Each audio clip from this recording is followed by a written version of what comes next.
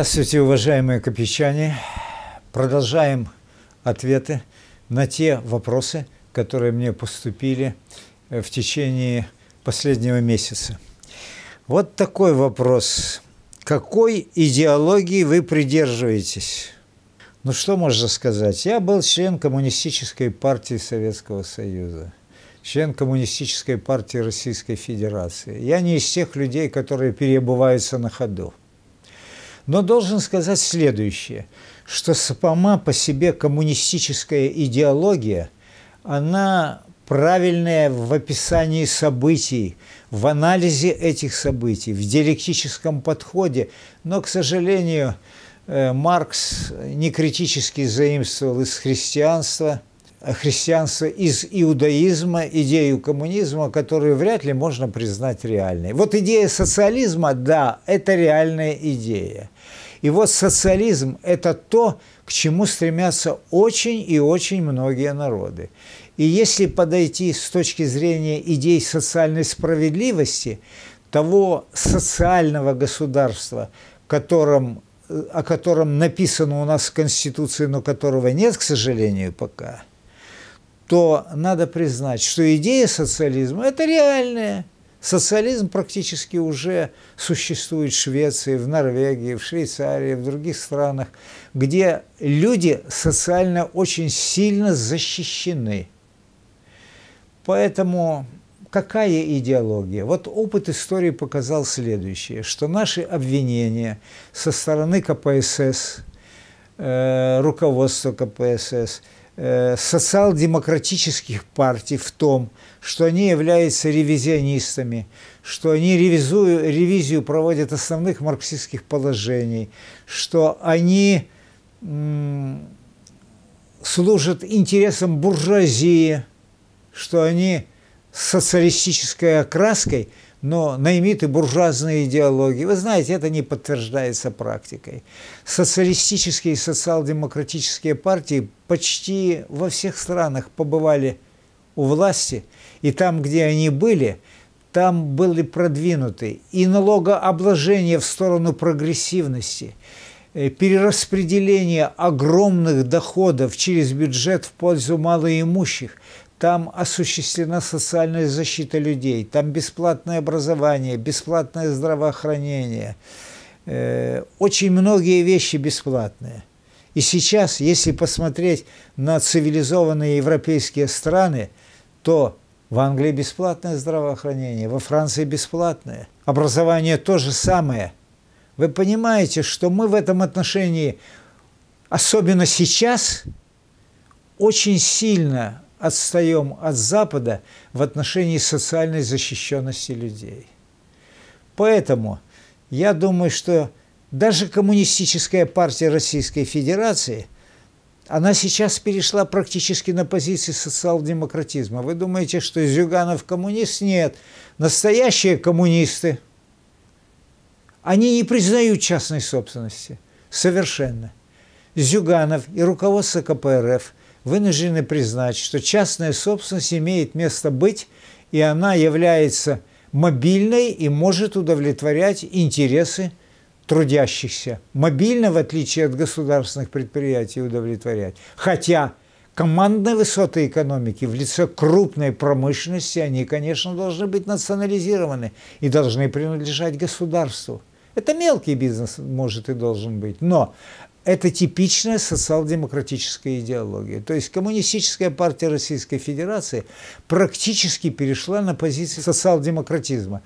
Но это разумно, потому что уже идея коммунизма, она показала свою несостоятельность. И даже там, где коммунистическая партия находится у власти, в Китае, во Вьетнаме, там они тоже уже практически ввели какую-то часть э, экономики, отдали под частную собственность, и они фактически проводят социал-демократическую политику. История подтвердила успешность этой политики. А то, что политика коммунизма, к сожалению, оказалась несостоятельной, ну, очень жаль, но, к сожалению, это так. Социализм. Вот что должно быть. Этого я лично придерживаюсь. Теперь поступил такой вопрос.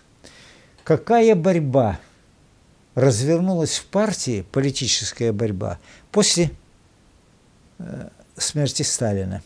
Прежде чем говорить о том, что было после смерти Сталина, надо сказать, что было еще при жизни Сталина после войны. Потому что после войны усилились такие тенденции, которые стали вызывать беспокойство Сталина. Во-первых, усилились стремления сделать нашу страну такой же успешной по уровню жизни – какой являлась Европа, которую наши воины увидели, когда там побывали. Поэтому Сталина стали особенно беспокоить космополитические тенденции, особенно в среде идеологии, в среде интеллигенции, в среде научного мира – вот почему при Сталине проводились постоянные дискуссии о языкознании, по экономике, по философии дискуссии, для того, чтобы как-то направить в сторону научного коммунизма, в сторону марксизма интеллигенции. Но Сталин опасался и борьбы против своей личной власти. А ведь борьба между группировками началась еще при жизни Сталина э, какая группировка войдет в доверие к Сталину, укрепит свои позиции, чтобы потом занять господствующее положение в руководстве. Это было две группировки. Так вот, одна группа ленинградская во главе со Ждановым. Жданов, Вознесенский, Косыгин, Родионов. Все это руководители Советского Союза, которые вышли из Ленинграда. И вторая группа – это Берия, это Э, Маленков, которые вокруг себя сгруппировали таких людей, как Хрущев и некоторые министры нашего правительства. Вот между ними шла борьба постоянно. Причем в фаворе у Сталина, пока жив был Жданов, находилась именно ленинградская группа.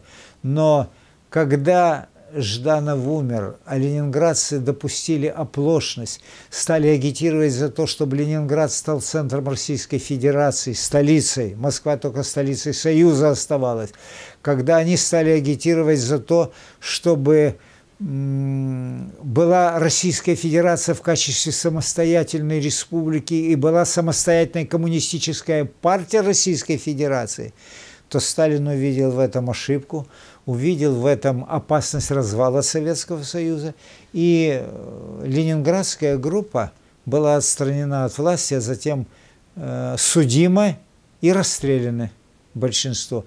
Вот так при жизни Сталина уже началась борьба за будущую власть. Сталин очень не доверял еврейскому населению. Отсюда то, о чем я уже повторять не буду, но о чем раньше говорил, отсюда ограничение прав еврейского населения, некоторый антисемитизм, хотя он был неофициальным. Отсюда э, такие вещи, например, как борьба с космополитизмом, такие вещи, как разоблачение врачей евреев – ну нельзя это было делать, ну нельзя. Но тем не менее, Сталин, не доверяя, решил под чувство патриотизма именно вот на антиеврейской политике построить. Потому что он считал, что еврейское население не является патриотами своей страны. Они действительно спорадически вошли в культуру России. Но у них, они своей родиной считают Палестину. И некоторые деятели культуры, к сожалению, такие как Илья Эренбург, давали основания для этого. Илья Эренбург считал себя гражданином мира. Он должен был в первую очередь быть патриотом нашей страны. Вот почему вот эта борьба, этот частичный антисемитизм в нашей стране – но неофициально, еще раз подчеркиваю, официально это ничего не проводилось. Проводилось неофициальное ограничение прав еврейского населения, особенно занимать государственные и партийные должности. Так вот, вот все это привело, это уже заключительный этап борьбы за будущую власть при жизни Сталина. А когда Сталин умер, то посты были распределены так, что во главе правительства не стал ни Молотов сильный, ни Берия тоже сильный, поделили между собой внешние и внутренние проблемы. А кого сделали? Сделали Маленкова, человека, которого двигал Сталин, который делал отчетный доклад ЦК на 19-м съезде партии, человека, который был слабее гораздо, чем эти люди, чем Берия и чем Молотов. Но это было компромиссной фигурой. И первый, на кого обрушились потом, это на Берия, потому что Берия был наиболее умный человек в руководстве. Он предлагал те мероприятия, которые потом осуществили, но которые в то время казались дикими мероприятиями. Помириться с Югославией, значит, сделать Германию не социалистической, Восточную Германию, сделать всю Германию нейтральной, при условии, что Западная Германия тоже станет нейтральной страной. Он выступил против критики культа личности, вернее, против культа личности. Он первый начал критику Сталина, но в такой замаскированной форме, не называя имя Сталина. Но он представлял опасность для всех. Вот почему был организован заговор, о котором я подробно уже рассказывал в одной из передач. И в результате этого заговора ничего не ожидавший Берия, такого коварства и такого такой, честно говоря, бандитской расправы со стороны руководителей партии и государства того времени, когда он, ничего не подозревая, прибыл на заседание президиума правительства, а по некоторым данным на заседание президиума ЦК КПСС, и был арестован. Ему придавили претензии, которые как снег на голову. И он был расстрелян. Споры только идут, был суд или не был суд, его заранее расстреляли. Ну, а потом оклеветали, сведя все к тому, что у него было много женщин, и он достоин был такой меры наказания. Были они или не были, это вопрос такой, который, честно говоря, на пленуме ЦК КПСС, который потом оправдывал эти действия и задним числом, так сказать, оформил э, исключение Берии из партии, когда руководители партии – занимается вопросом о том, сколько у него было женщин, и как он при якобы жене, находящейся в доме, приводил к себе любовницы, как их на улице ловили. Честно говоря, э, в это верить, на мой взгляд, нельзя. Но были, конечно, были. У него была дочь, и он потом сыну сказал своему э, Серго Берия, что у тебя есть сестра. Да, была. Но если смотреть на мужчин, на руководителей, у кого их не было, то это можно очень-очень редко найти такое. Ну, а для членов Политбюро, как тогда члены президиума ЦК называлось, рыться вот в этом, в личных, так сказать, моментах, и в том числе и клевету наводить на Берия в этом отношении. Да, женщины были, были но это не солидно. Берия был серьезный политический деятель, имевший огромные заслуги перед государством. В частности, его заслуга в том, что мы создали атомную бомбу. Честно говоря, это не совсем было хорошо. Но когда с Берией расправились, тогда возобновилась борьба за власть. Эта борьба уже шла между Хрущевым, который стал первым секретарем ЦК КПСС, Маленковым, ему пришлось уйти Маленкову, Хрущев одержал победу. А потом между Хрущевым и нашим правительством, а именно Молотовым, Кагановичем, Маленковым, который остался членом Политбюро, э, членом э, президиума ЦК, как в то время называли, и министром электростанции был. Вот, и заместителем главы правительства. Поэтому надо быть, ну, в основном, конечно, он министром электростанции стал. Надо быть э, объективным в этом плане и сказать, что члены правительства подметили волюнтаристские решения Хрущева, в частности, Целина, в частности, сокращение вооруженных сил – значит, э, установление связей со всеми оппозиционными партиями, расширение иностранной помощи, помощи иностранным государствам, которые подрывали нашу экономику. Они выступили в 1957 году, но потерпели поражение, потому что такой член э, верховного руководства, как министр обороны Жуков, поддержал Хрущева в этой борьбе. Но чего Хрущев простить ему не мог. И пытаясь сохранить свою власть и не доверяя Жукову, он добился отстранения Жукова от власти. Вот такая политическая борьба шла после смерти Сталина. Ну а потом новый заговор, и возглавляемый Брежневым, Шелепиным и Хрущева удалось убрать, убрать тихо и спокойно. Чего, к сожалению, не смогли сделать ГКЧП и также тихо и спокойно убрать Горбачева и убрать Ельцина. Вот такая политическая борьба. Вы знаете, товарищи, вот я говорил как-то, что политика настолько грязное дело, где никаких законов нравственности, принципов нравственности не существует.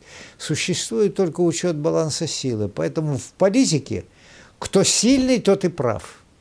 Важно завоевать власть любыми путями, самыми несправедливыми, самыми низменными путями. А потом найдется сотни юристов и тысячи юристов, которые докажут, что это надо было сделать, и прав будет победитель. А победители не судят. Судят, конечно, в истории судят, но это уже судят после смерти победителя. Следующий вопрос о глобализации рассказать. Ну, товарищи, тут можно много говорить. Если кратко говорить, то глобализация – это э, глобализация – это объективная тенденция, объективный процесс, потому что мир сближается. Но сближаясь, мир в то же время и расходится, потому что народы стремятся сохранить свою культуру. Но сохраняя свою культуру, они одновременно, они интернациональные некоторые ноты переносят свою культуру. И доминирующей здесь является европейская культура. И вот, товарищи, наиболее сопротивление большое оказывает мусульманская религия вот этой глобализации. Почему? Потому что вот этот объективный процесс глобализации, а, а именно создание транснациональных корпораций, сближение различных экономик, различных стран между собой, создание единой финансовой системы, э, когда можно деньги перебросить с одного континента на другой за одну минуту, а может и того меньше. И вот все это привело к тому, что Соединенные Штаты Америки, как наиболее мощная экономическая страна, стали доминировать в процессе глобализации. И они решили поставить глобализацию – на службу себе, на службу своим американским интересам. И под предлогом глобализации они стремятся насадить свой образ жизни, так называемую демократию, чтобы к власти пришли в качестве демократов те люди, которые положительно относятся к Соединенным Штатам и которые дадут возможность американским транснациональным фирмам иметь э, большие привилегии в различных странах. То есть они используют это э, в своих целях абсолютно. Они сейчас стремятся истощить Российскую Федерацию и добиться того, чтобы Украина в этой борьбе одержала победу только для того, чтобы под предлогом глобализации завладеть национальными богатствами Сибири российскими национальными богатствами, которые сосредоточены в Сибири. Вот почему, э, как только проходит встреча руководителей крупных государств, она проходит почти ежегодно, так противники глобализации всегда появляются и устраивают шумные демонстрации там, где проходит это совещание. Антиглобалистские демонстрации.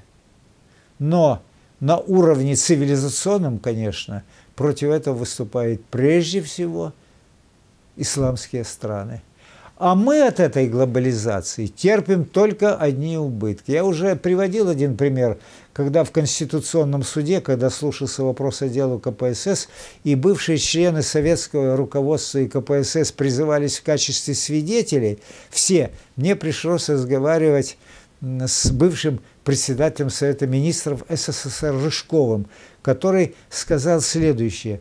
Куда эти дураки, он прямо так и сказал, куда они, имея в виду правительство э, Российской Федерации, куда они лезут в международную торговую организацию, с чем мы туда придем, с лесом, с нефтью. То есть мы станем страной с колониальной экономикой. Поэтому он тогда все это прекрасно понимал. Он выступал фактически против так называемой глобализации, в которую мы сунулись. Зачем, непонятно. Вышли мы сейчас уже из этой конторы, оплатили много денег туда в качестве членских взносов. Зачем?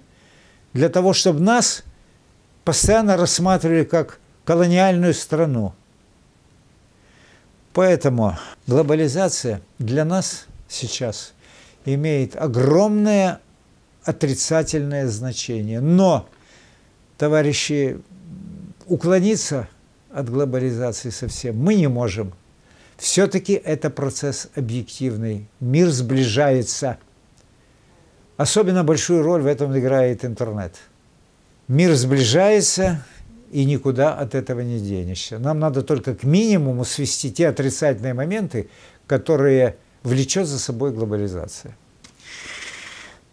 Следующий вопрос, но я боюсь, что у нас не хватит времени. Могу только кратко сказать.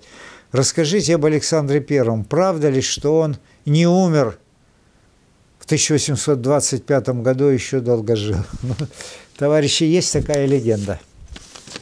Есть такая легенда, что Александр Первый, которого мучила все время совесть за то, он не предотвратил убийство отца Павла I, что он дал согласие на от, отстранение его от власти, но при условии, что ни один волос с его головы не упадет.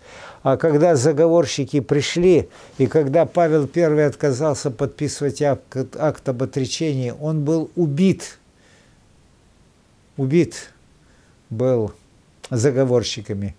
А Александр I – то есть будущий первый, просто Александр, как наследник престола, вместе со своим братом ждали э, сообщения, когда придут и скажут, что отстранен отец от власти. Но когда пришли заговорщики, и Александр понял, что отца убили, он впал в истерику. Долго Россия жила без царя. Он отказывался принять престол. Наконец его уговорили, но Россия мировая держава, она не может быть без руководства. Он принял, управлял Россией. Он вошел в историю под прозвищем Александр Благословенный, потому что в его царствовании было изгнание Наполеона из России. И вот, товарищи, после окончательного э, поражения Наполеона – и ссылки его на остров Святой Елены посередине Атлантического океана, Александр I стал играть решающую роль в политической жизни Европы. Это был талантливейший, хитрый дипломат. Он играл большую роль. Но он не мог усидеть на одном месте. Он все время переезжал, новые впечатления с одного места на другое. Тень погибшего отца мучила его. Поэтому появилась такая легенда, что умер не он – в Таганроге, а что умер, похоронили какого-то человека. И в это время в Сибири появился один старец в простой крестьянской одежде. Полицейским урядникам было дано задание уважать этого человека, не, нас, не досаждать ему. Вот, который поразительно был похож на Александра, причем прекрасно владел французским языком, великолепно знал историю, знал манеры поведения, и у самого были культурнейшие манеры поведения. Человеком, к которому приезжали знаменитости из нашей страны, в том числе и наследник будущего престола Александр II. Это был человек, который знал такие детали и войны с Наполеоном, и такие детали придворной жизни, которые никто не мог знать. Он долго жил, обучал сибирских детей, молился, замаливал свои грехи. И когда он умер, он был похоронен в Сибири. Вот. И есть такое мнение, что э, вместо него был похоронен в э, Петропавловском соборе Петербурга другой человек – в царской усыпальнице. Вот. Но или там никого не было. Во всяком случае, ленинградские историки в период советской власти обращались с просьбой разрешите вскрыть могилу, посмотреть. Это прольет свет на историю. Действительно, Александр умер или он не умер. Он отрекся от престола, гонимый совестью своей, угрызениями совести за э, погибшего отца. Он видел свою вину в этом, но не разрешили это делать. Но когда он умер, то его могилы не осталось. Не осталось. Есть такое подозрение, что либо временно был похоронен другой человек в этой могиле, либо никто не был похоронен. Абсолютно. Вот. И потом тайно перевезли прах Александра I и захоронили его царской усыпальнице в Петропавловском соборе Петербурга. Вот эта легенда, она до сих пор живет. Было это или не было, так это или не так, правда это или неправда, это интереснейший момент нашей отечественной истории. Но ответа на него пока нет. Но все те, кто описал встречи, все те солдаты сибирские, которые потом вернулись на родину и которые видели Александра, когда парады проходили. Они, когда видели вот этого старца Федора Кузьмича, они падали в обморок с возгласами «Государь-император». Поэтому в истории эта легенда – считается очень и очень правдоподобным. И неплохо, конечно, было бы с точки зрения исторической науки знать, действительно это было так, или это еще какие-то фантазии, которые были к этому факту народной молвой присоединены. Но во всяком случае легенда это очень живучая, и многие историки придерживаются ее, что это действительно имело место быть. Вот, товарищи, все полчаса истекает, все вопросы я предельно кратко осветил, некоторые осветил повторно.